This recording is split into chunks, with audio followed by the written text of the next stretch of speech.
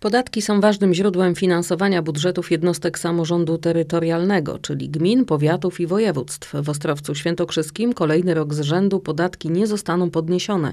Ostrowieccy radni na listopadowej sesji przegłosowali stosowną uchwałę jednogłośnie. Na początku listopada spotkałem się z Radą, rozszerzoną, można powiedzieć, Radą Gospodarczą, bo tam ponad 16, ponad 16 przedsiębiorców z Ostrowca Świętokrzyskiego było.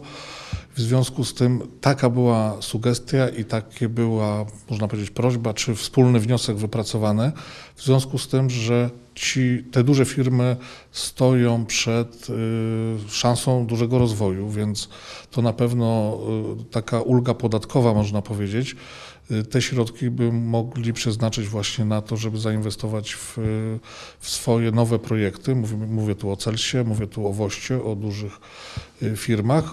Również mniejsze, mniejsze przedsiębiorstwa, również także dla nich byłaby to duża, duża pomoc. Od 2015 roku w Ostrowcu Świętokrzyskim podatek jest na tej samej stopie. To już dziewiąty rok z rzędu. Ma to swoje plusy i minusy. Dla nas to dobrze, a dla miasta, no nie wiem jak to powinno być.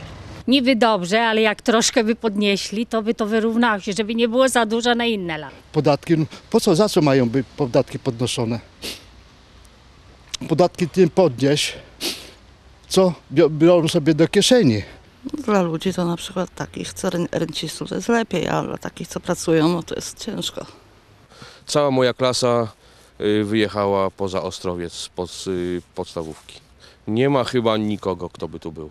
Ustalone stawki samego podatku od nieruchomości dla firm stanowić będą w Ostrowcu Świętokrzyskim 54% stawki maksymalnej w przypadku gruntów i 63% stawki maksymalnej w przypadku budynków. Jednym z miast w regionie, które zdecydowało się na podwyżkę podatku od nieruchomości są Starachowice.